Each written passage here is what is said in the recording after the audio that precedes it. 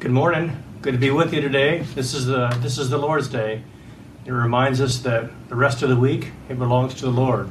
It's to be a catalyst in our life. We're glad to have you with us today. This is the best way to start today. Is just open God's Word together and to learn from Him, to lay our heart before Him and say, Lord, what do you have for me today? And may that just place uh, an imprint on our heart and carry all the way through the week, uh, just drawing us to Christ, conforming to Christ. We're in the book of Revelation. Uh, what, a, what a treasure it is. It's a delight to us, it challenges our hearts. We have seen uh, two things here in the book of Revelation. We've seen, number one, our Jesus Christ. John writes about the things that were. That's what he saw when the book was first opened up and Jesus appeared to him. He saw Jesus Christ ascended, now glorified, in his majesty and his glory. And then Jesus says, I'm going to communicate to the churches, and I'm going to communicate to you those things that are coming in my program and how I'm going to fulfill that. So in John chapter 2 and 3, we see John communicate that. Jesus writes letters to the churches, he communicates information to seven local specific churches. John writes about the things that are. That's, that's these churches, it's Paul's churches, it's the churches of that day, and it's to his church, which means it's to us as well. we are living in the church age, and what is written in Revelation 2 and 3 is relevant for us as well. We two weeks ago we, we looked at the summary of that and we just saw how it connects into our life. In fact, it calls us to a life to life ministry every day. Our life related to God and our life related to the people around us. Chapter 4 moves us into the third section, which takes us all the way to the very end of Revelation. John says, After this, after these things, I looked, a door standing open in heaven, and the first voice which I had heard speaking to me like a trumpet said, Come up here, and I will show you what must take place. We saw this last week. That's going to be our next step. We're not there yet. Last week we looked at the rapture. It's a necessary event, I believe biblically, that takes place before the tribulation takes place, which we see here in Revelation 4 or, and, and moving forward.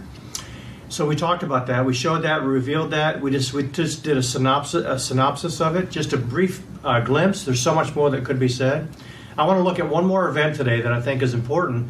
That it's not it's not laid out here in in uh, detail at all here in the Book of Revelation, but it's in the Word of God, and I want to lay that before our hearts this morning. That's the bema seat of Christ Christ. That's the that's the judgment seat of Christ. It's this picture, it's this reality of, of us standing before Jesus Christ with accountability as believers. And so we see in, in scriptures uh, it can be public. Uh, as Jesus was brought before Pilate, it was a public setting. He came before him, he was accountable to him, even though Jesus was fully in charge. But it's the authority of Pilate that's represented here, then ultimately of Christ. But Jesus would come before him, and, and his life was in his hands, as it were, although we know his life was in his own hands according to his timetable and his sovereign plan. It can also be private. When Paul was brought before King Agrippa, it was in a private setting, but it still there was a accountability. His life was at the mercy of King Agrippa, under, of course, the sovereignty of God. The bema seat is simply that. It's it's a, it's representative of um, of a of a king, a sovereign on on a throne, on a platform in which we come before him, and our life is before him and his decision will have ultimate impact over our life, uh, for, for ill or for good. The Bema seat, the judgment seat of Christ, we're going to see here, it's not about salvation. We're going to be talking about it. 1 Corinthians 3, uh, 3 makes it clear it's, it's about relationship to Jesus Christ, the foundation that we have laid in relation to Jesus Christ. And so, what, what is revealed here is the focus of the Bema seat, of the judgment seat of Christ, is the work in our life what we have done. Uh, it's not about whether we're saved. If we are there, we are saved. We are children of God. We belong to Him. We are in relationship. It's about the work that has identified and marked our life. Because it says here at the very end of that verse, 1 Corinthians, I may receive reward, I may suffer loss. But I, you and I, if we're there, we can have the assurance that we are children of God. We are saved the Bema seat as well, it reveals, and it's going to reveal who we really were, who we are now, but who we were as we look back now upon our life at the Bema seat. We are reminded in 2 Samuel as um, God looked upon ultimately David for a king, that was such a surprising choice to his family. He was the last in line. Jesus says, I don't look on the outward appearance, even though David was a handsome man. He says, I look on the heart. The Bema seat is going to be Jesus Christ looking on our heart. It's going to be weighing our motives, it's going to be weighing our intents, our goals, our attitudes, how we did what we did, what we did, what we did. All those things are important. We see here as well that we're going to receive what is due. Jesus Christ, the judgment seat of Christ, we will all appear before the judgment seat of Christ, so that each one may receive what is due for what he's done in the body, whether good or evil. Jesus is going to reveal who are you really? I mean, who are you really before the Lord? He already knows that. Who am I? I mean, who am I really? Jesus Christ is going to reveal that, he's going to lay that bare. I will see myself through his eyes. That is sobering. That is challenging. That is motivating. The Bema seat of Christ is, is to be motivated, motivating in our life. Is to give us a constant awareness of the presence of Christ now, and that we will stand in the very presence of Christ someday. The Bema seat of Christ reflects relationship. 1 Corinthians 11 If we judge ourselves truly, we would not be judged. But when we are judged by the Lord, we're disciplined so that we may not be condemned with the world. See, when Jesus Christ judges us now, before the Bema Seat, when He takes care of things in our life now, then we won't be judged then. If we judge ourselves now, if we're honest with ourselves now, if we call sin what it is, confess it before Him, we won't be judged for that. But it's not the sin, it's the work here that we see. We've already mentioned that. Jesus Christ has already taken our judgment. We're not going to be condemned uh, it is a it is a reflection of relationship that we have in Christ. The Bema seat is all about Christ. Even though it's us before Him, it is Christ centered. It is all about Him. It is what He is doing, why He's doing it. It's important. We see here in John chapter 5 that Jesus is going to be the one, He will judge. The Father judges no one. He has given all judgment to the Son. He has, he has given judgment to Jesus Christ. Jesus Christ will be the one before whom we stand. Jesus Christ is going to reveal our lives. It says, when the Lord comes, he will bring to light those things that are now hidden in darkness. And he's going to disclose the purposes of our heart. He's going to look beyond what we've done. He's going to look beyond what everyone else has seen with the determination they've come to as they look at my life. He's going to be able to see below that, underneath that. He's going to see why we did it, the thoughts, motives, and intents of the heart. He will reveal everything. Nothing will be hidden from him. Not one thing in my life will be hidden from him. and Jesus will make a determination. We must all appear before the judgment seat of Christ so that each one may receive what is due. I can't receive what I do unless the person who's looking into my life understands everything and sees everything. That's Jesus Christ. He sees it all. And so there will be nothing, no evidence missing. There will be nothing in my life that He will overlook. He will see it all. That's a good thing. The judgment seat of Christ, the Bema seat, we often we often look upon that with um, with dread.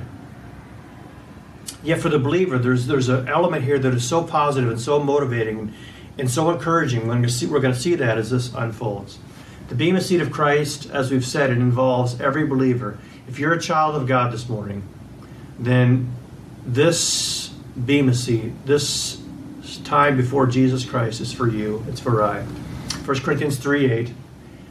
Each of us will receive his wages according to his labor. Our work is going to be that which is revealed. Each one of us, individually, accountable to Jesus Christ. Ephesians chapter 6. Whatever good that anyone does, he will receive back from the Lord, whether he is bondservant or free. I like the end of that bondservant or free. You know what that tells me? Jesus Christ looks upon every believer he doesn't take into account uh, their status here in life, whether they're wealthy or not, uh, poor or rich, powerful or not. He looks upon us simply across the board equally. We are children of God. We are loved equally by Him. And it says here that we will receive back from Him that that good that we have done for Him. He's going to pour good back into our life here at the Bema seat of Christ. Romans 14:10 reminds us why do we look at others and judge others? We're so quick to do that because Paul reminds us here that one day we're going to stand before the Lord and He's going to look into our life. We will all stand before the judgment seat of Christ. I just want you to know, I want you to understand that none of us will escape this, none of us will miss this, none of us are so good that He'll just overlook us and say, okay, next. He's going to look at all of us with a discerning eye, and He's going to bring into our life that which is due. We've seen here. The bema seat itself is a distinction. It in in and of itself is a distinction. Revelation 20, it's not. It is not the great white throne. I saw a great white throne and him who was seated on it. I saw the dead, great and small, standing before the throne, and the books were opened. The dead were judged by what was written in the books, according to what they had done. Even those who are unsaved are going to be judged according to what they have done. Their works will be evaluated and judged by the Lord. The Bema Seat, believers, the works of believers will be evaluated and judged according to what we have done. This is very important. The Bema Seat is for unbelievers. Uh, the, the Great White Throne is for unbelievers. The Bema Seat is for believers. That distinction we need to keep very clear in our mind. Because at the great white throne, if anyone was not found, his name was not found written in the book of life, he was thrown into the lake of fire. Everyone here at the great white throne ultimately will find that their name is not written in the book of life. They will be judged according to the works, but they will be judged ultimately because they lack relationship with Jesus Christ. Their name is not in the book of life. That is the defining quality that is most important. The distinction here is, is Christ in you. By grace you have been saved through faith. This is not of your own doing, it's a gift of God, not a result of works, so that no one may boast. For we are his workmanship. The Bema seat is not about works, it's about Christ in us. That's important. But works are important as well. See, we are created in Christ Jesus for good works, which Christ has prepared beforehand. See, we're his workmanship, that we should walk in him. Our works do not save us, but they reveal relationship. Our works do not save us. Your works, what you do for Christ, does not save you. There's nothing that you can do for Jesus Christ that can save you. What saves you is relationship. It's whether you know Jesus Christ as your Savior, whether you have received Him as Lord of your life and are following after Him. The distinction is what the works reveal as to whether we will be at the Bema seat or the great white throne. the distinction is whether we have been transformed by Jesus Christ. Do you not know the unrighteous will not inherit the kingdom of God? Do not be deceived. And then there's a list of, of just sins that are related to this context in this book, 1 Corinthians. All these things. If these things define my life, I will not inherit the kingdom of God. But then he adds this, but such were some of you. And he says to all of us, you know, you were this, you were you were captivated in bondage to this sin, but now this is what you are. You are washed, you are sanctified, you are justified in the name of the Lord Jesus Christ by the Spirit of our God. The distinction as to whether we are at the Bema seat of Christ or the great white throne is this whether we have been transformed by Jesus Christ, whether our life has changed because of the power of Jesus Christ.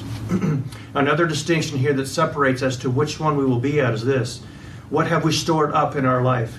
He will render to each one of us according to our works. You see, our works are so important. They don't save us, but they do define us. I want you to catch that distinction. Your works do not save you, but they do define your life. They do reveal who you are in relationship to. They do reveal that about me. In this context, he says, there are those who have a hard, uh, impenitent heart, and they're storing up for themselves. When I am and not in relationship to Christ, not a child of God, I am storing up for myself wrath. Those who are self seeking do not obey the truth, obey unrighteousness. There's going to be wrath, there's going to be fury. In distinction here, there are those who are storing up because of their patience, their desire to live for the glory of God, the honor of God. They're living for immortality. An eye on eternity, He will give eternal life. How I live reveals what I treasure the most. Do I treasure Jesus Christ more than anything else? Or do I treasure myself more than anything else? The works of my life, the works of your life, will reveal which one is the greatest treasure in your life. Another distinction will be which resurrection is yours. We see here in John chapter 5 Do not marvel at this, an hour is coming when all who are in the tombs will hear his voice and come out. We are all going to be resurrected, believer and unbeliever. It is a promise from the Word of God. everyone who has ever died, will be resurrected. Those who have done good, those whose lives have revealed Christ, will be resurrected to life. Those who have works that reveal a lack of relationship to Jesus Christ will be resurrected for and to judgment. The bema seat of Christ, the great white throne. That's the distinction. We see that distinction here. The bema seat, the judgment seat of Christ, it is after the rapture. 2 Timothy chapter 4. The Lord, He is our righteous judge, will award all believers, will award me, you, on that day, but not only to me, also to all who have loved His appearing. He's going to appear one day. That's a promise. He's coming. He's going to appear twice. He's going to come at the rapture. He's not going to come to earth. He's going to, he's going to descend into heaven and call us up. We will see him as we are lifted into his presence. The second coming, he will come to earth. He will fulfill his program. The rapture is what we're looking for. That's the next event on his calendar. He will appear. we're going to be resurrected when that takes place. Here we have here we have a parable, Luke chapter 14, of a man who had a banquet, and, and, and Jesus says, When you have a banquet, invite those ultimately who can't repay you for you will be repaid at the resurrection of the just. Two resurrections the resurrection of those who are in Jesus Christ, the resurrection of those who are not. There will be a resurrection that takes place. 1 Thessalonians chapter 4, which we looked at last week. When he returns, when he comes, if we are dead, we will be resurrected to be with him. If we are alive, we will be lifted up to him directly. We also believe that the bema seat of Christ is going to happen before the second coming of the Lord, which happens at the end of the tribulation. When Jesus Christ returns at the second coming in Revelation chapter 9, we see this. It was granted to her, the church, to clothe herself. She is clothed with fine linen, bright and pure. For the fine linen is the righteous deeds of the saints. They have now already, we have now already, when this takes place, we have already been clothed by the righteousness, the reward, the, the full promised blessing of Christ into our life. We are now clothed with His righteousness. And we come back with the Bema seat having been completed. That encounter is now finished, and we are coming back to rule and to reign with Jesus Christ during the millennial kingdom and into eternity. The Bema seat, we have to be clear to, to, to show this. It's not about condemnation. Let's see why that's true. The Bema seat is not about salvation, it's for believers. We saw that. It's not for unbelievers, only believers are there. It's not about sin. He's not going to judge our sin there. Psalms tells us, 103, verses 10 and 12, He does not deal with us according to our sins, nor repay us according to our iniquities. Aren't you glad? As far as the east is from the west, so far does He remove our transgressions from us. Ultimately, that's what He does and will do. He will separate our sin from us. For as high as the heavens are above the earth, so great is his steadfast love towards those who fear him. When I am in relationship to him, when I fear him, it shows and reveals that I'm a child of God. Because I'm a child of God, my sins have been have been con- uh, forgiven by Jesus Christ. He has taken the wrath of God for me, for you. He has stood in our place. We deserved God's wrath. We deserved and we deserve condemnation. We don't deserve anything good that Jesus Christ has promised. We don't deserve any of that. None of it. Jesus Christ has taken our place and offered us the blessings of all that is His one day. What a joy. We will not be condemned there for our sin. That has taken place at the cross. I want you to know that. He has promised, Romans 8, there is no condemnation for those who are in Jesus Christ. It cannot be said any clearer than that. You will not be condemned at the great white throne. There's a fear in the heart of every believer about the sin that we've had. It's been said that, that we will stand before the Lord and anything we've not confessed will be dealt with. I've said that before. But I believe that, that what is going to be dealt with at the at the bema seat of Christ is how we have served the Lord our works, not our sin. Our sin is dealt with in His. Well, so we'll see that. Okay. Why? Why is that true? Why do I believe that's true? What's the scripture show us? Hebrews chapter 12. We see this I will remember their sins no more. Why? Because I will be merciful toward their iniquities. That's his promise. That's his promise to us. I'm not going to remember the sins. I'm going to cast them behind me because of mercy. Does he deal with does he deal with our sins now? You better believe it. Yes, he does. The convicting work of the Holy Spirit presses hard on your heart and mine when I'm living in sin. It's because he loves us so much. He's trying to conform us to him now so that I will serve him and receive blessing one day because I yielded to him. When you and I reject the work of the Holy Spirit and we resist him and we, we refuse to conform, we are in sin, living in sin, violating his heart.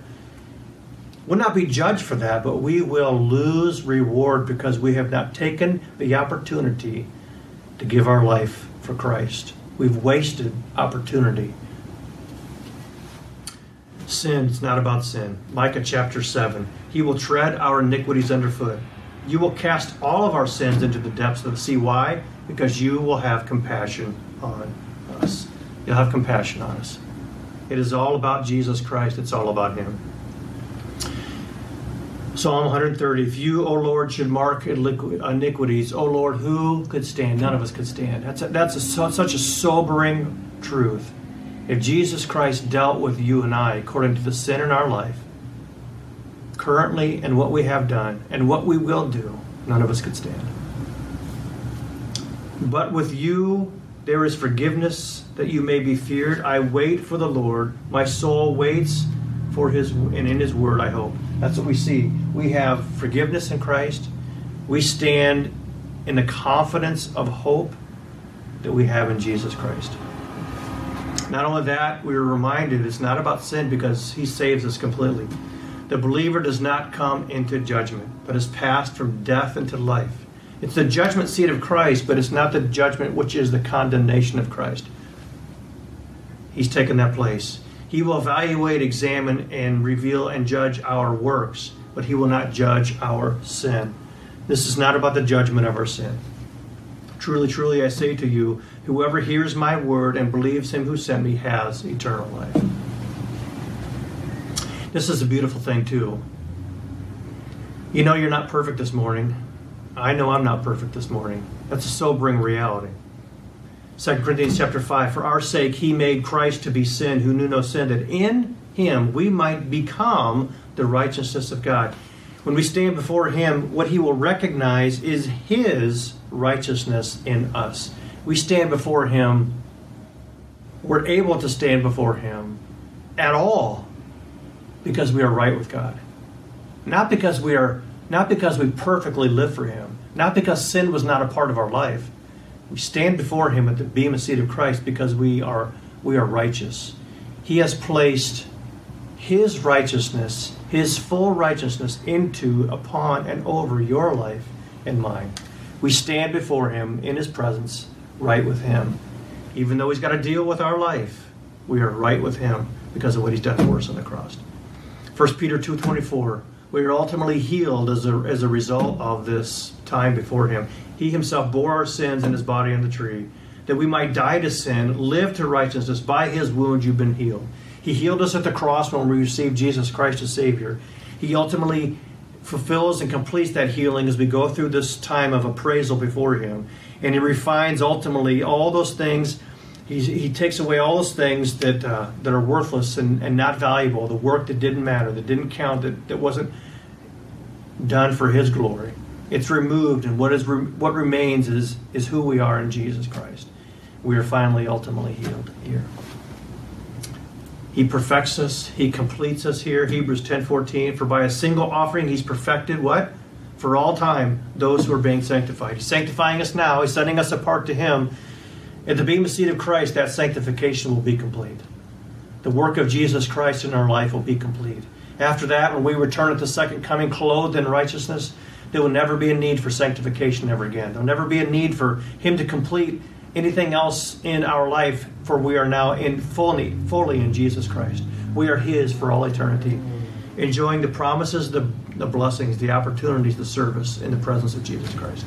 The bema seat of Christ is, however, it is this.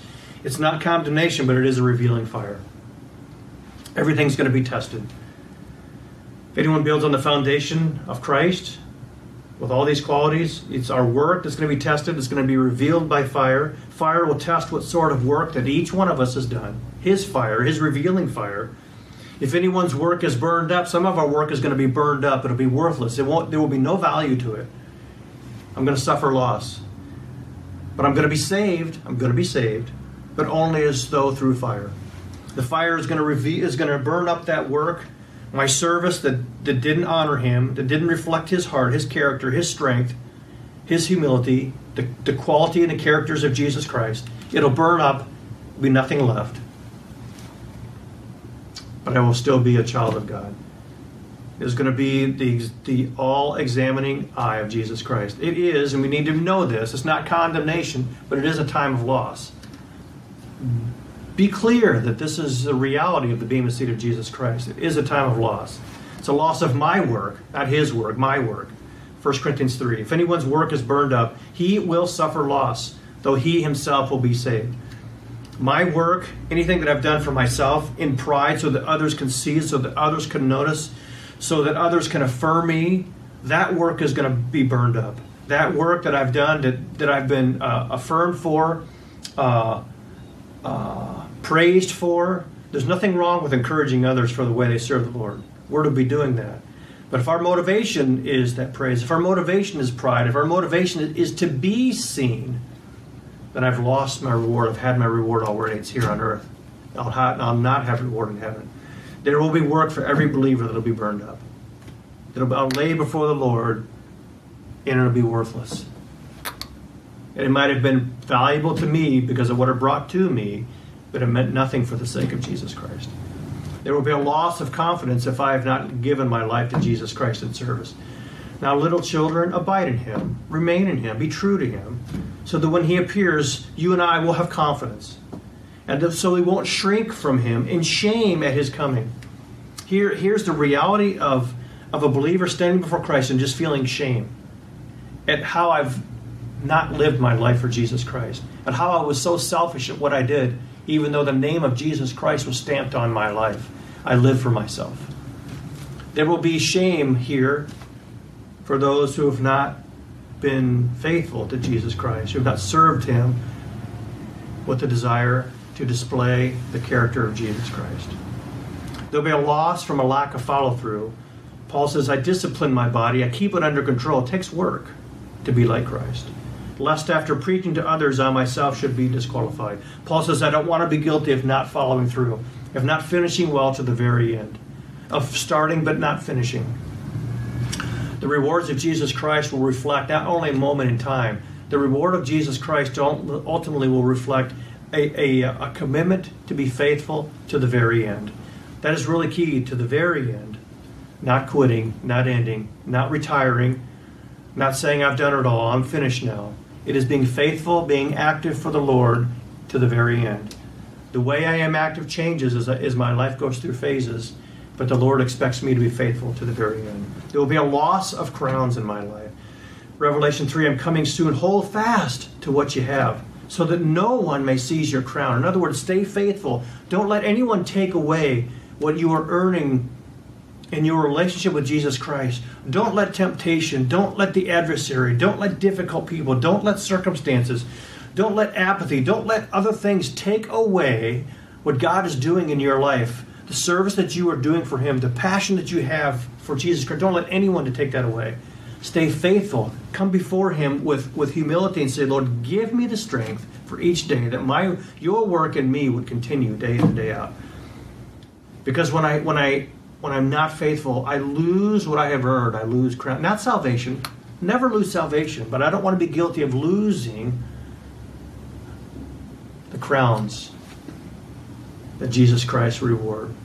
It is a time of loss. It's a time where there will be angst. It's a time where there will be sorrow. There's a time.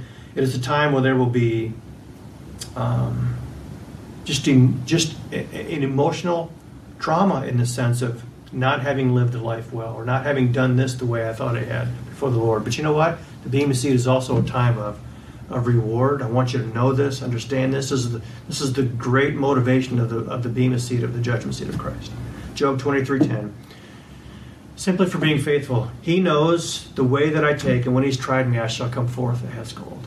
That's process. That's to the very end. That's letting Jesus Christ do His refining work in us. As He's refining, His work is being accomplished.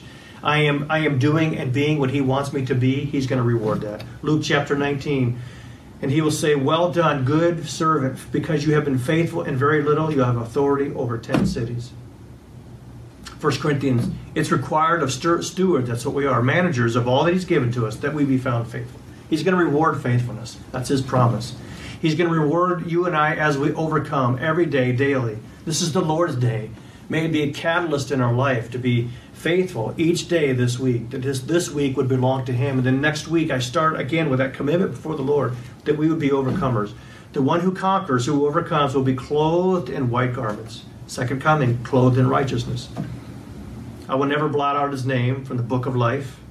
I will confess his name before my Father and before his angels. That's reward. That's reward. Psalm 62. To you, O Lord, belong uh, is steadfast love, for you will render to a man according to his works. Know that that whatever good that anyone does, he will receive back from the Lord. The Lord is always watching, He's always seeing. He will reward your faithfulness and mine. That's His promise. It's a reflection, ultimately, if I do the work of Jesus Christ, it is a reflection of His enablement in my, in my life. When I pray, I'm saying, Lord, I need you. When I come together with the community of Jesus Christ, I say, I need them. I need the body of Christ. We need to we need to convey our need for others and for Jesus Christ continually. It's a reflection of divine enablement. Philippians chapter 2. It is God who works in you, both to will and to work for his good pleasure, to do for his good pleasure. As we obey, as we carry out His work, as we serve Him, we are ultimately reflecting this that Jesus Christ is at work in my life. I am able to do because He is doing first in my life. I'm submitting to that, I'm yielding to that. We work because of His grace, 1 Corinthians, but by the grace of God, I am what I am. His grace toward me was not in vain. I worked harder than anyone. Don't let God's grace into your life ever be in vain. Don't waste His grace. Though it was not I, but the grace of God that is within me. We work, we serve, we do what He would have us to do because of His grace. When we resist the character of Christ and we resist the grace of God, we waste that blessing, that opportunity. Don't waste that opportunity. Don't don't waste that. Be what God wants you to be today. Don't wait. Every day I wait, I waste. I waste an opportunity for grace. I waste what He's given to me. I have lost reward. He wants to reward you. He wants to bless you now and in eternity. Colossians 1:29. It is hard work. Paul says, I toil, I struggle, I struggle. That is work. With all his energy that he powerfully works within me. I work hard, but I don't do it alone. I work hard because he is my power. He is my strength. I yield to his strength. When I am weak, when you're weak, yield to his strength. Slow down, let go of, of effort, let go of striving, and yield to him. And then in his strength serve. In his strength do what is good. At the bema seat of Christ, he will give crowns. There are five crowns. You know them. There is the incorruptible crown, 1 Corinthians 9.25. When we exercise self-control in our life, and we, we exercise self-control to do what we should, or to stay away and not do what we shouldn't, we will receive a perishable, we will not receive a perishable wreath, but an imperishable, an incorruptible crown. We will receive a crown that, that, that cannot be destroyed, that is eternal. 2 Timothy 2 5. An athlete is not crowned unless he completes according to the rules. We need to compete according to the rules. 1 Corinthians chapter 9. As we run a race, we run, we're, we're to run so we would obtain the prize. Reward is a motivator in our life. We could say a lot about that as parenting and all those kind of things in the life of the church. But you know what? The fact that Jesus Christ is going to reward me and reward you, that's motivation. That's motivation. Let it motivate your heart. The crown of life, James chapter 1, verse 2. Blessed is the man who remains steadfast under trial. When he has stood the test, he will receive the crown of life, which God has promised to those who love him. Revelation 2:14 he says to those who are suffering, those who are being tested, those who are in tribulation, be faithful all the way to the end till death. And I will give you the crown of life. This is, this is the only crown that is mentioned twice in the Bible. The crown of joy. What is our hope? What is our joy? What is our crown of boasting before our Lord Jesus Christ at his coming? Is it not you? For your for you are our glory and joy. This is this is a crown of joy over soul winning. This is a crown of joy for for discipling, for investing Christ in the lives of others.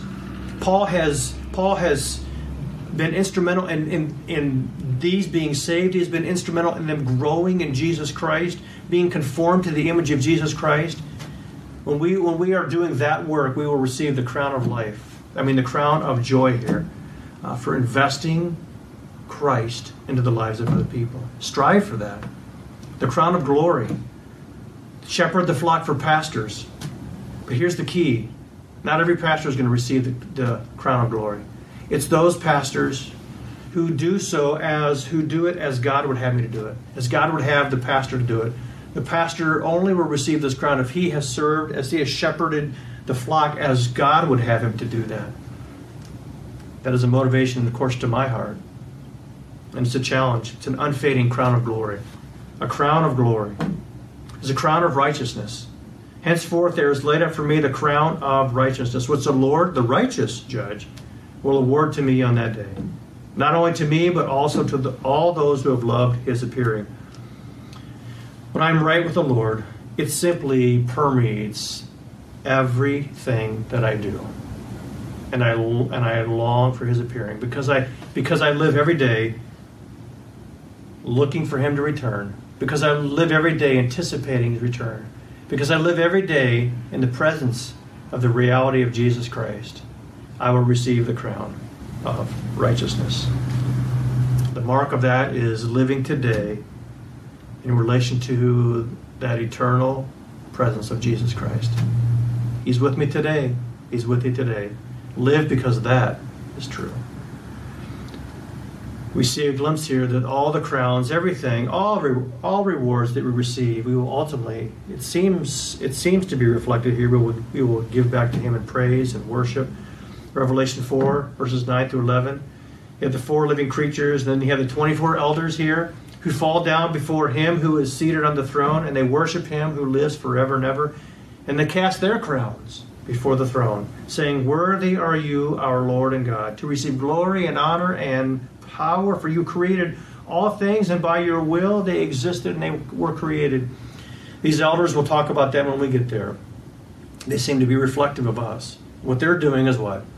All that God has given to them, their greatest possession, that is the crown they have received from Christ, they're laying that back at the feet of Jesus Christ in worship and praise.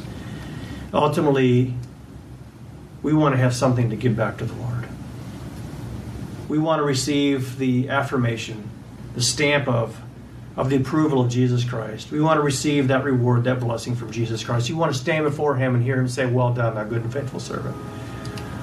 But we want to also have something to give back to Him in praise and worship. May that be the result of your life and mine. What a terrible thing to be there as a child of God the blessing is we're a child of God, but then to have nothing to give back to Him because we've not lived for Him well. The bema seat of Christ, the judgment seat of Christ, it's a time for examination, personal examination of your life. Do you know? Do you know where you stand? 2 Corinthians 3.16 Do you not know that you are God's temple and that God's Spirit dwells within you? It is, it is a time to examine, am I a child of God? Does Jesus Christ, does He live in me? Is He is he in my heart? Is he in my life? Do I does God is he my savior this morning? Is the spirit of God active in my life? Is he active in your life? Do I know that? Are you in a relationship? Paul puts it this way, examine yourself examine yourself to see whether you're in the faith. Every believer ought to be doing this. Test yourselves. Or do you not realize this about yourself that Jesus Christ is in you? Unless you fail to meet the test, I hope that you will find out that that we have not failed the test, that you have not failed the test. Do you know for sure that Jesus Christ, Christ is your Savior? Do you know that? Beyond any shadow of a doubt, do you know that? And we see this in Matthew chapter 25. The parable of the talents. Master says to the servant, Two servants. Well done, good and faithful servant. You have been faithful over a little. I will set you over much. That's great. That's wonderful. That's fantastic. That's what we desire. Enter into the joy of your master. That's the key. Today, is it your desire to bring joy to your Lord's heart? Uh, really? Do you, is it your desire, is it my desire to want to bring joy to his heart today? If I don't want that now, that'll not be reflected when I stand before him. If I want that now, if I strive for that now, that'll be reflected in my time before the Lord. If it's my passion and my desire to bring joy and honor to Jesus Christ today, now, in what I do, in how I do it, that will be reflected in my time as I stand before the Lord, Jesus Christ. Are you ready? Are you motivated? Jesus says, I'm coming again. I am coming soon. Come, Lord Jesus. The Bema seat of Jesus Christ calls us into accountability. The Bema seat of Jesus Christ promises to us reward from Jesus Christ. That he never overlooks his servants, he never overlooks the believer. So much of what a Christian does, so much of what a believer does is unseen by the world. The fruit is seen, the spiritual impact is seen, but sometimes even that many do not see, but Jesus does. He sees it all. One day we're going to be rewarded that. May Jesus say to all of us, Well done, good and faithful servants. And along with that, the opportunity for reward to receive the affirmation of Jesus Christ, that, that look of appreciation from Jesus Christ, but ultimately to have the opportunity to give back to Him praise and honor and glory and crowns that He's given to me. While the Bema seat can be public, it seems that every picture of the Bema seat that we see is it's going to be between me and the Lord. It's not, it's not going to be you and I standing before others and everyone seeing our dirty laundry and our sin our focus is going to be on us. It's going to be about me with Jesus Christ. I'm not going to care about your laundry. I'm not going to care about your dirt. I'm going to be looking at my own. Jesus Christ is going to be taking my life into account. And so I need to serve each day. You need to serve each day with that in mind, that we would receive his affirmation, his promise. May you serve Jesus Christ well. May you indeed be present at the Bema seat of Christ because you know Jesus Christ as Savior. Take care of that first. If you're a child of God, make things right with the Lord. Serve Him and Him only.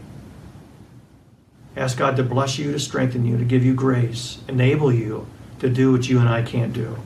And strive to be faithful no matter the cost, no matter the circumstances, no matter the difficult people. Serve others. Do it for the glory of God. Lord, we pray that you would indeed motivate our hearts biblically from the Word of God, by the Spirit of God, by the truth of your Scripture. That we would serve you and you only, that we would do it well, that we would be indeed overcomers, and know beyond a shadow of a doubt that you have promised to reward each believer who serves you faithfully, to reward each believer, period, who is a child of God, with the greatest blessing of eternal life. Lord, motivate our hearts to righteous living, to faithful living, we pray in Jesus' name. Amen. Let him move into your heart. Consider what he has said to you this morning. Respond to Jesus Christ with your life accordingly, I pray. We'll see you next week. Thank you for joining with us. We'll step back into the flow of Revelation next week and continue.